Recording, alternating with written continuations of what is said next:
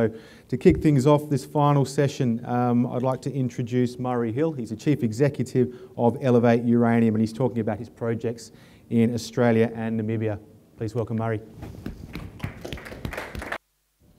Thank you, Chris. Uh, good to be here, but not necessarily, as you say, the second last session on a feels like a Friday afternoon, but maybe it's not. Um, Elevate Uranium, as the name suggests, we're in the uranium business, and we're pretty proud of that fact. And what an exciting time to be in uranium. We're talking about the world going the decarbonisation, electrification route. Decarbonisation is generating electricity with no, with no carbon emissions. Electrification is electric vehicles. They need power to come from somewhere. Where does it come from?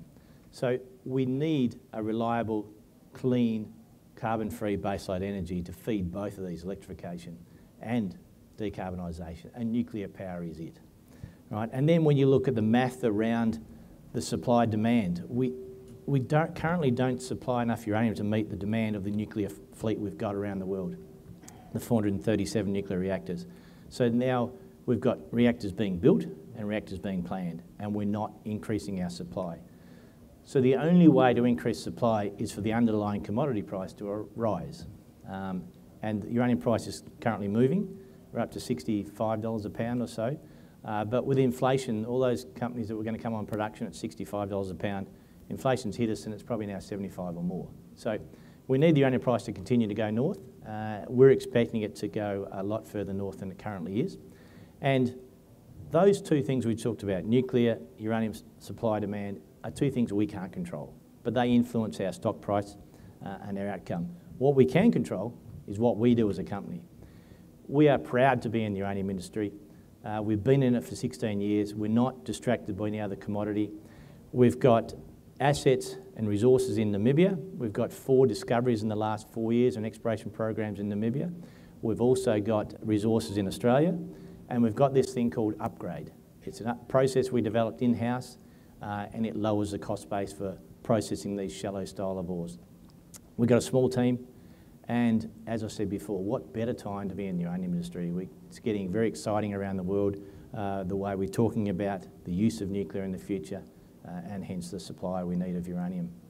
So let's talk about Namibia first. Uh, we are geographically diverse, as, as Chris said, we're in Namibia and Australia. Namibia is uh, where we've got a lot of uh, effort being put into exploration at the moment. Uh, it's a fantastic jurisdiction to be in. Uh, it's an African country. People tend to put Africa in a basket, but Namibia uh, is, is a really good spot to be. Family have been there on holidays, absolutely loved it. Um, people are good quality people. Uh, we've got four geos working for us over there. Uh, excellent people. So it's, a, it's, a, it's a, the only country in the world with a dedicated uranium association. That uranium association is a conduit between government, stakeholders, shareholders and uh, companies like us, exploration uh, developers and producers. They do a fantastic job of promoting the industry. Now, Rossing uranium mine, sitting in the middle of this map, have been in operation continuously since 1976. That's 47 years of continuous operation. I think that's the longest running continuous uranium mine in the world. So subsequently, there's two generations of culture that are used to uranium mining and processing in Namibia. So it's not a fight for us to get anything in production. And recently we've had, you know, um, Husab come into production about half a dozen years ago. So it's not, we're not fighting uh, greenies or anything. We are, we are very much, under, they are very much understanding of, of nuclear and, and uranium processing. So down the bottom of this map, we've got the Namib area. Um, that's where we've got a contiguous land position we built up. The reason we picked this area is because we're chasing paleo channels which are old river systems where the uranium's leached out of the granites over millions of years of weathering and flowed down these river, river systems and precipitated when the geological conditions are right. Been covered up subsequently and we're having to find them. So we've gone upstream of known deposits. So there's plus 270 million pound in this area. So we've targeted areas where we think are prospective. The first tenement we got uh, granted back in 2018, uh, 2019, sorry, after applying for it in 2018, was the Koppies one in the middle of this map.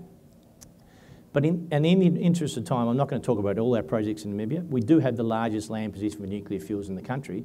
So let's just focus on Koppies. Uh, in the first three years of tenure, our first period of tenure, we, put, we um, estimated a resource of 20 million pound. So subsequent to that, we've done some extra drilling and we've established that the strike length of this deposit is now 20 kilometres long uh, and we're drilling that out. So as you can imagine, we're drilling 20 kilometres takes a very long time. We're drilling 100 metre by 100 metre grid. Uh, so it's 20 kilometres from one end to the other. It's 200 holes just to get from one end to the other, let alone going east-west. So what we're focused on is, is getting, uh, expanding this resource. And to do so, we have got three drill rigs working there. Each drill rig drills five holes per day. Each hole is 25 metres deep, vertical RC holes. Each hole costs about 1,000 Australian dollars to drill. So with three rigs drilling Monday morning to Friday afternoon and going back into Swakopmund for the weekend, they're drilling 75 holes per week. I don't think you'll ever have anybody stand in front of you at any stage and tell you each drill rig can drill five holes per day. I hear of many other uranium producers drilling one hole every couple of weeks. So we really are getting over some ground, but we do have a lot of ground to get over. So we're looking at um, expanding this resource um, over the coming months uh, with an announcement and probably in Q1 next year uh, where we can uh, talk about uh, how many more pounds we've got there. So the central Erongo area is an area where up until 2008 and we had one project, the Marenica project on this map. It's got a 61 million pound resource on it. Um, we do believe there's a lot of exploration potential on the tenement, so we're going to drill that next year. Uh, we've gone and found a, a late, one of our discoveries is a Capri project. We've got 16 kilometres of mineralisation there that we now need to follow up. So once the drill rigs have finished uh, resource drilling at, um, at uh, Koppies, they'll start to spread. One rig will stay at Koppies because there's always going to be more holes to drill because we're finding breakouts of mineralisation on that. Uh, one will probably move down the Namib area and possibly another one up here. So we've got a lot of um, land to cover, uh, but as I said before, we can drill a lot of holes in a short period of time. So we're focused on exploration in Namibia. Its blue sky potential is enormous. We're having success there, so we'll continue uh, to drill and explore in Namibia. Moving across to Australia, we've got uh, Australian assets we picked up in December 2019. If you all remember what happened about four months later, uh, we couldn't travel, uh, and hence we couldn't do anything with these assets. So we've, uh, we've got the Angela, we've got 400% owned project. The Angela project uh, is 31 million pound at 1300 ppm, just south of Alice Springs. Good sized project. Thatcher Soak in WA, Oobagooma up in WA, uh, up the top. And I just spoke to someone just a while ago who discovered Minerva in, uh, in and he told me the naming, but I'm not actually going to repeat what he said to me um, and why he named it Minerva. Uh, but it's an interesting story, but not for um, not to be recorded, I don't think. So it's um, they're the four projects we've got. We've got a bit of work to do on those. Uh, what we've done once we could move uh, within the Northern Territory from WA, uh, we did some geochem geotechnical work on these, and we've just and we've determined a drill uh, program. So hopefully next year we can hit that drill program and see where we can expand uh, Angela and also understand the mineralisation at Minerva. Minerva's got 10 drill holes that exceeded 10,000 ppm intervals, so it's got a lot of promise, uh, and we do need to do a bit of work to understand that. We've also got a few other joint venture interests with a joint venture partner uh, around or near the Minerva project. A question that gets asked to me a lot is their upgrade process. Um, it's a process we developed on the Marenica project when we only had the Marenica project before we started to build our, our uh, company up through land acquisition. It's a process we developed in-house with the consultants of CSIRO in Perth. It's what it does is we look at the minerals present in the ores and, and what we do is we determine their associations and their properties. And what we end up doing is we're rejecting the gangue minerals on the way through the process. So we're not upgrading uranium initially. The last stage is where we upgrade the uranium. The rest of the time, we're focusing on rejecting these gangue minerals. So that's the key, that's the innovativeness of it, and that's what makes it patentable. We've got three patents around the world, um, and what, what we do is we reject 95% or more of the mass. So hence you're left with less than 5% of the mass of high-grade concentrate that you can take somewhere else or you can leach yourself. So we've got optionality as to where we process that concentrate, uh, which makes a big difference to how we can uh, develop these projects in Namibia. So the examples of what we've done, we've taken the, the Marenica ore from roughly 100 ppm to 5,000 ppm prior to leaching. And the Angela ore in, in Northern Territory, it's got an acid leach problem, or acid problem, I should say, consumption problem. With a small number of tests, we've managed to reject over 80% of the calcite, which consumes acid, and hence reduce the acid consumption by 80%. So that needs to be optimised. But certainly there are a couple of examples of what upgrade can do. Uh, it's, it's, it is really a, a groundbreaking process for us that's got enormous benefits. Not only does it reduce the capex and opex by 50%, but it gives us that optionality I talked about. Whether you can process, you can leach and refine on site uh, and to produce yellowcake yourself, or you can take it off site. And somewhere like Namibia, Rossing have been there for 47 years, excess capacity in their leach refinery, so they're a candidate to take our concentrate too. So that's an important part of us. So we can develop projects that others can't, and we've got a process that no one else has. It's got an enormous amount of environmental benefits, as you can imagine, reducing the amount of material to be leached, uh, reducing the acid consumption, uh, you know, maybe using someone else's tailings dam leach circuit. The list goes on. So from a corporate point of view, we have the smallest board possible. We've got three directors on one of them. We have two executives on one of them. So we don't waste money on executive teams. We don't have a big executive team. We put money into the ground on exploration, which is what shareholders want. We want to add value to shareholders. We're currently in, sitting in a pretty good position with 10 million cash in hand at the end of June. Uh, we're burning about 700,000 a month. So got, as you can do your maths pretty quickly, you can work out we've got a bit of money to keep us going for a while. Um, and with the uranium price going what it has uh, recently, our share price has gone from 29, 30 cents to 50 cents. Uh, so we're looking pretty good in that respect, but got a lot of more growth to go yet. So, in summary, uranium focused. Only uranium, com only company on the ASX with uranium in our name. So very proud of that fact. Not distracted by any other commodity. Been in the business for 16 years. We've got resources in Namibia. We've got four discoveries in Namibia in the last four years. We've got resources in Australia. We've got Upgrade, which is a, a groundbreaking technology for us. Uh, we've got a good small team.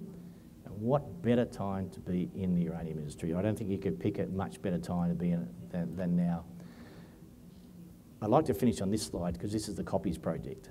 So years ago I used to get asked, can you drill all year? Yes, we can.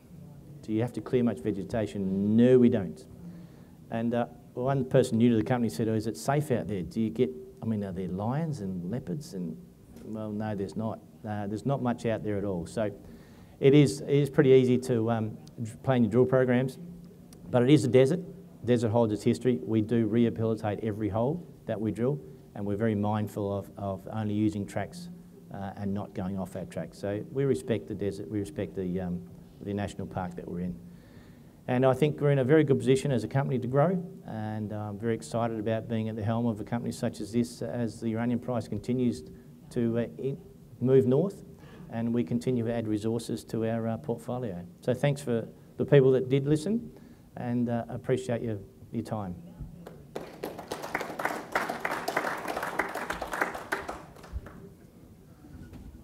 Questions for Murray?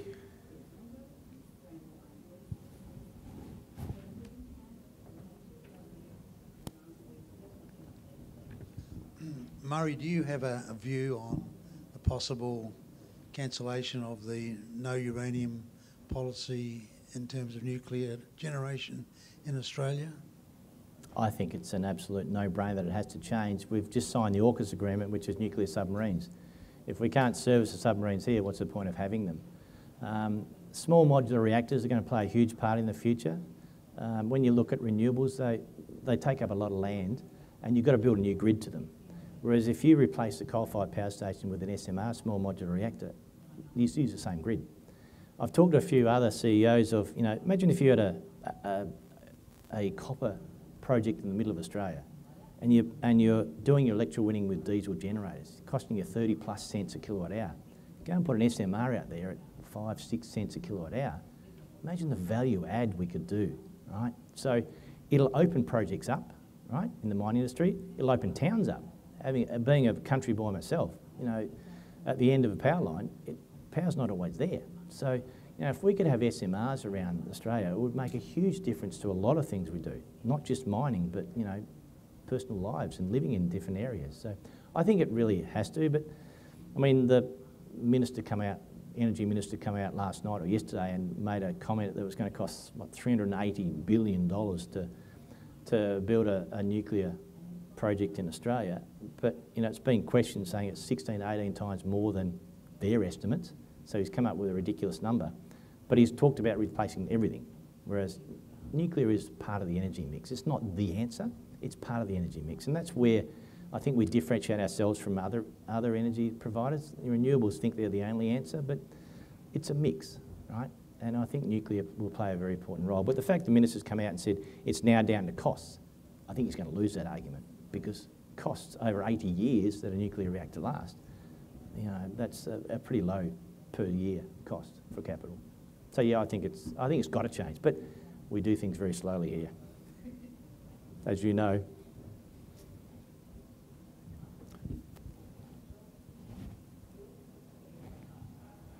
Murray, uh, I think uh, over the years when the spot price was around $30 a pound, uh, uh, you were saying it's not high enough.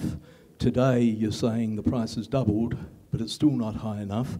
Uh, what price makes sense for you to uh, get into production?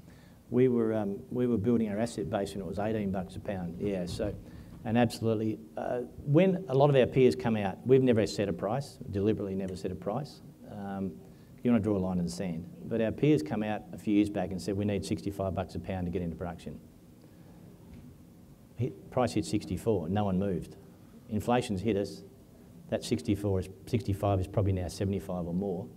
Um, I think it's going to take 80 bucks a pound for people to get into production, uh, purely because of what's happened over the last three years around the world. Everything's more expensive. Right? Travelling to projects is double what it used to be. Um, equipment's cost, costing a lot. So I believe the uranium price is going to sit above 100 for an extended period of time and well above 100 for a period. So that's going to incentivise nearly everybody to get into production then. But it, it, the price to get into production has increased, unfortunately, because purely just because of inflation. But yeah, I'm not going to put a line in the sand for us. Uh, we'll talk about it internally once, because at the moment we're trying to build a resource base because our value is, is based on pounds in the ground.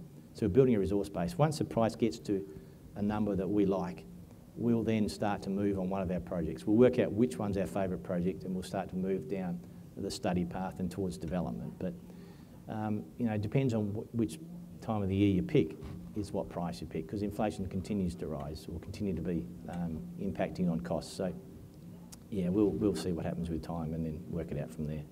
I hope that answers your question. Thanks, Murray. Thank you. Thanks. Cheers, mate.